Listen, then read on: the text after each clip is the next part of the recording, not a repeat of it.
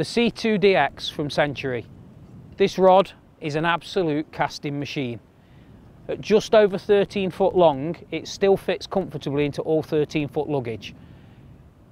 It's designed with the anti-twist technology, meaning it will retain accuracy at extreme ranges. And it's also got the autoclave technology, meaning it will not deteriorate in performance over the years. So it will perform as good after several years as the day you buy it.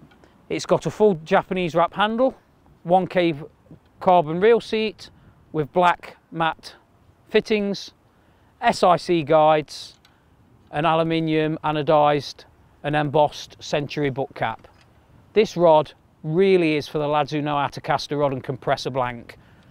If you want extreme range, this is the rod for you.